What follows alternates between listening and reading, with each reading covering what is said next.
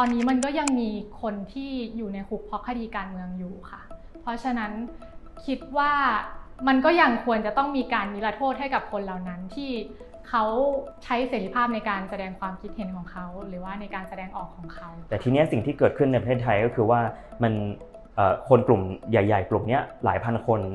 ถูกดำเนินคดีทางอาญาจากแค่การที่ออกมาใช้เสรีภาพในการชุมนุมประท้วง อย่างหนึ่งที่เราสามารถทำได้ทำได้เลยทำได้ทันทีเนี่ย ก็คือการหยุดดำเนินคดีกับคนกลุ่มนี้ เพราะว่าเขาเนี่ยกำลังเอ่อต้องโดนเอาเข้าสู่กระบวนการพิจารณาคดีอาญาแค่เพราะว่าออกมาใช้สิทธิเสรีภาพขั้นพื้นฐานเท่านั้นเอง เราต้องเข้าใจก่อนว่าความคิดแตกต่างอะมันอยู่ร่วมกันได้ กฎหมายมันก็เลยกฎหมายนิรโทษกรรมมันก็เลยเป็นเป็นหนึ่งที่มันเป็นเครื่องมือสำคัญ ที่จะช่วยให้สังคมไทยกลับคืนสู่เอ่อความเป็นปกติอะค่ะ มาตรา1นึเนี่ย มันเป็นหัวใจเลยของความขัดแย้งที่เกิดขึ้นในช่วง 3-4 ปีที่ผ่านมา แล้วก็คนที่โดนมาตรา1นึเนี่ยส่วนใหญ่ก็เป็นการโดนดำเนินคดีจากการแค่ออกมาแสดงออกโดยสงบ ซึ่งก็เป็นสิทธิขั้นพื้นฐานตามหลักสากล ฉะนั้นเนี่ยเราก็ไม่สามารถที่จะไปงดเว้นมาตรานี้ได้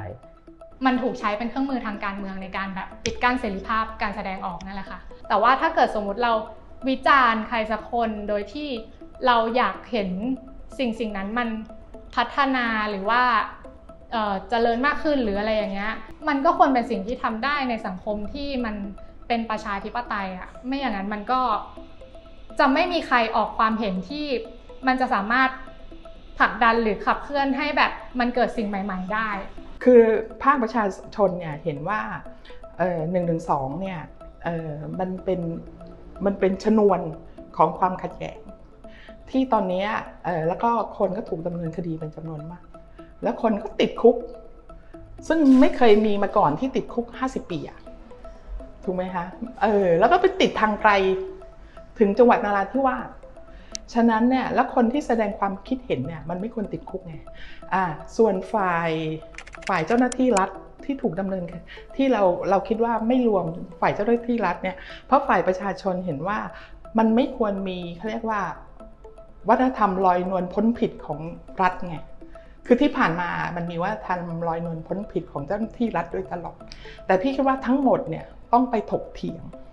คือถ้ามีเหตุผลเราก็ามาคุยกัน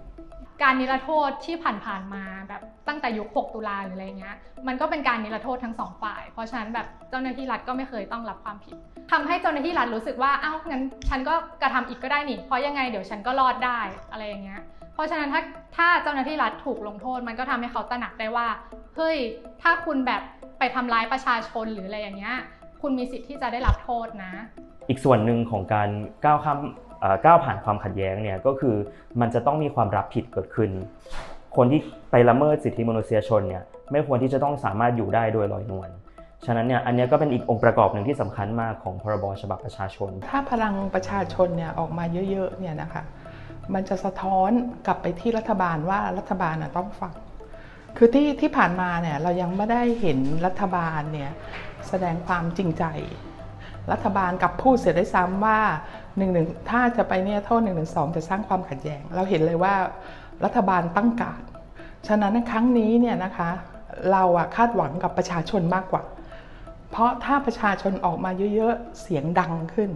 รัฐบาลน่ยต้องรับฟังเสียงประชาชน